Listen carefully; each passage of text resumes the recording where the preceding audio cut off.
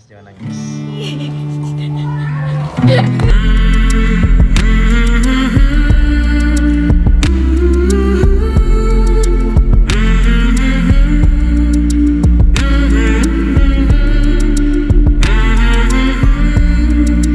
Assalamualaikum, saya Lesti untuk teman-teman semuanya. Jangan lupa like, comment, and subscribe.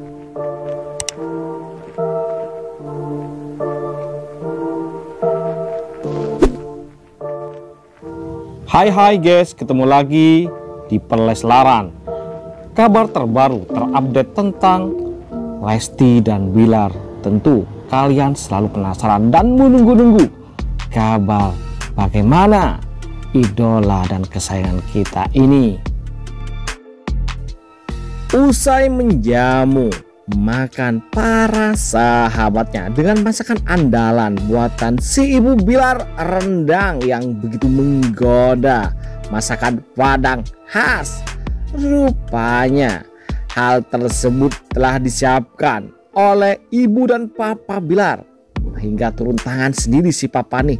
Barengin mama. Ternyata mantunya sama keluarganya datang bertandang. Si Besan ternyata benar-benar nyata. Main ke rumah Bang Bi ya yang menarik apakah saat mereka berdua duet lagi dikatarin sama si Valdi? Apakah nangis lagi seperti kemarin guys saat di acara konser romantis hingga Bilar sendiri meledek sang kekasih untuk tak nangis lagi. Ya, serunya mereka yang bersiap-siap entah mau ke mana tetapi yang tentu bahwa di hari ini menjelang tahun baru tentunya mereka yakni Lesti dan Bilar akan menghabiskan waktu bersama untuk jalan-jalan untuk liburan bersama keluarganya Ya, yang paling menarik adalah ya saat mereka lagi-lagi menyanyikan lagu kebangsaan. Mereka yakni terlena. Ya, apakah akan menangis lagi? Kita lihat keseruannya. Yuk, kita lihat cuplikannya gimana sih kalau Bang bisa masih Dede ini menyanyikan lagu kebangsaan mereka ini.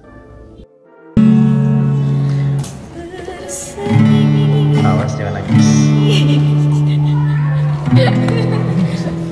Coba. Terdengarkan suara si dedek mulai juga ada getar-getar. Tangisan itu akan keluar lagi guys. Tetapi hal itu tentu bukan tangisan duka tetapi tangisan haru telah dipertemukan dengan sosok lelaki yang baginya adalah idaman. Siapa lagi kalau bukan Bang Bi yang bisa mencintainya secara tulus menerima keluarganya dan memperlakukan dia sebagai wanita istimewa. Sehingga tentunya kemesraan di antara mereka berdua tak bisa dipungkiri oleh kita semua yakni baik dari ayah Kejora maupun dari si keluarga Bilar sendiri ibu sama papanya yang sama-sama mendukung mereka segera menghalalkan hubungannya.